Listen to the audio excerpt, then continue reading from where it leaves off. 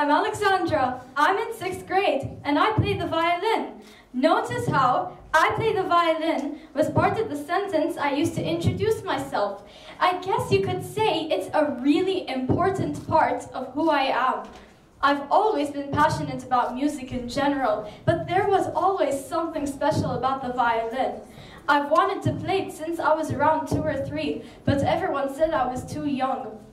Eventually, my constant nagging convinced the rest of my family to seriously start thinking of taking violin lessons when I was six. One little discovery helped them realize I was meant to pursue this, though. My older sister, Marianne, who enjoys music just as much as I do, discovered that I have perfect pitch, since she has it herself. Perfect pitch is basically the ability to tell the difference between the different notes without a reference, which automatically enables you to also produce notes, also without a reference. For example, if someone plays the note do on an instrument, I recognize it as the note do. I just know. To me, knowing the different notes is just like knowing my name. It's pretty cool that only roughly one in 10,000 people possess perfect pitch. But here, Marianne and I are being called human pianos by our family and friends. the way my sister discovered this is a funny story, actually. Once, when I was three and a half years old, and when my sister came home from school and started eating lunch, I brought my iPad and joined her. I can already see the adults in the audience shaking their heads in disapproval.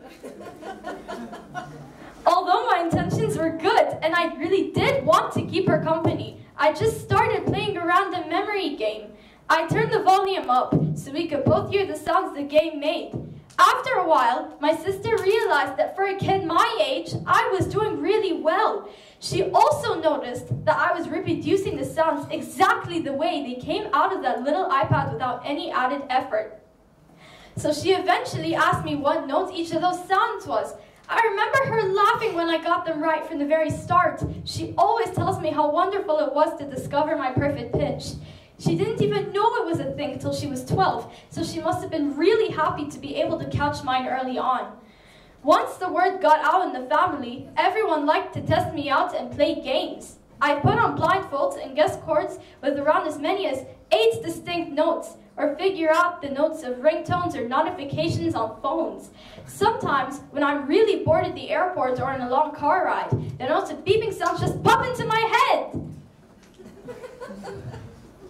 Anyway, I think I bored you all enough with all the perfect pitch business. Let's get back to me. Music has changed me. Music takes my thoughts and feelings and shapes my imagination and creativity so that I start to focus better. I write better and I feel better. My memory is really good. For example, I know the entire periodic table by heart, such as element 31 is gallium or number 49 is indium, Probably because I've learned to make associations between music and events. When your brain starts wiring in a way to make associations, it probably leads to making other associations too, which lead to a better functioning brain. yes. In conclusion, would you agree that music has done good things to me? Think of this. What if energy is transferable? And it is. All the energy that I have that I get from the music, I can transfer to the focused and mindful listener, and we will all have a stronger mind as others have transferred their energy to me.